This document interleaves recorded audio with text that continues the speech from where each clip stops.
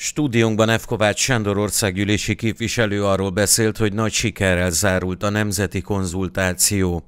Véleménye szerint a magyarok ezzel kifejezték, hogy fontosnak tartják hazájuk szuverenitásának védelmét, és kiálltak az illegális bevándorlás elutasítása mellett, illetve hangot adtak a béke és gyermekeink védelmének fontosságának.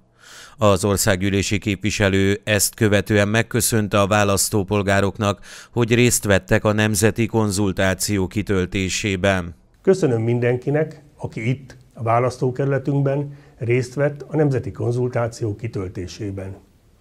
Mindenki számára fontos, hogy ne Brüsszelből a fejük felett döntsenek arról, ami hazánkban történik.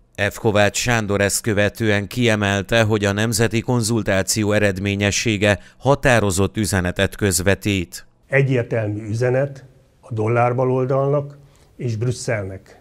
Nem akarunk háborút, illegális bevándorlást és genderpropagandát. A politikus végezetül ígéretet tett arról, hogy a Fidesz-KDNP a jövőben is eredményesen fogja képviselni a választók érdekeit. A Fidesz-KDNP továbbra is ki fog állni Magyarország szuverenitása mellett, a Tiszató, a Nagykunság környékén számíthatnak ránk értékeink és békénk megőrzésében.